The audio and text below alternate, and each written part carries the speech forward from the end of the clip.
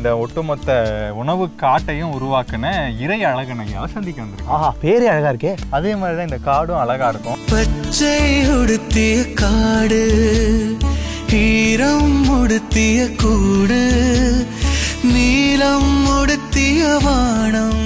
இந்த பட்டையை அரைச்சா பசை மாதிரி. அந்த தடவிட்டா அந்த எலும்பினுடைய முனையை உருக்கி இணைக்கிற ஆற்றல் எலும்பு உருக்கி. மரம்